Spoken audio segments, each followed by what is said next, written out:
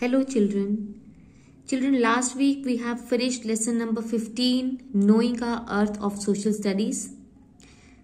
And I have told you that there will be a revision test of lesson number 6, Safety Around Us this week. So, now take out your sheets or test copies and be ready for the test.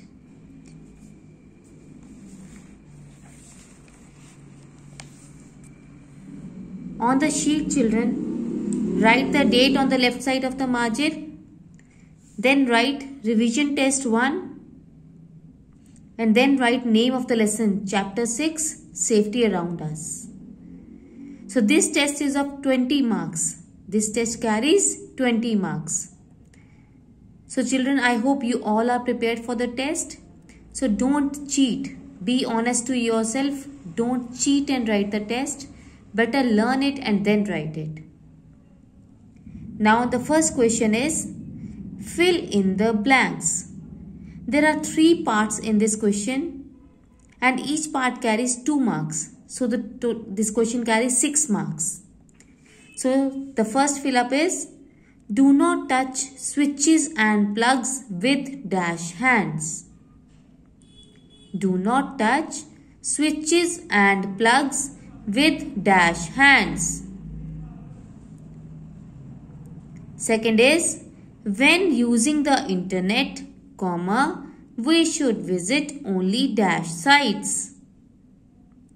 When using the internet, comma, we should visit only dash sites. Then third is never play with matchsticks comma, as they can cause dash. Never play with matchsticks, comma, as they can cause dash.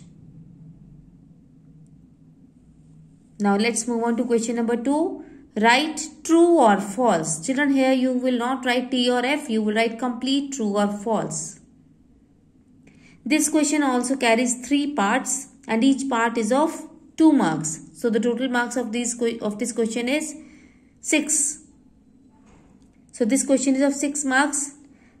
So the first part of this question is an accident or injury can occur on the road. An accident or injury can occur on the road. Number 2 is watch the zebra crossing before crossing the road. Watch the zebra crossing before crossing the road. Then number three is do not throw things out of a moving bus. Do not throw things out of a moving bus. Now let's move on to question number 3. Answer the following questions. Children, here two parts are there of this question and each part carries 4 marks. So the first question is, what rules should you follow while traveling in a bus? What rules should you follow while traveling in a bus?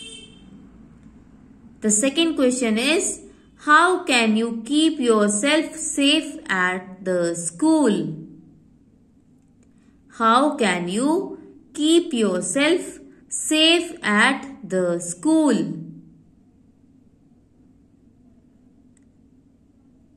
So this was all there regarding this test. I will show you the questions once again. Read the questions carefully and then write the answers. After writing the answers, children get this test checked from your parents. Don't cheat. Once again, I am reminding you, don't cheat. Do your test honestly.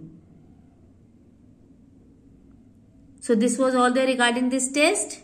In the next video, we will start with the new lesson of social studies. Thank you.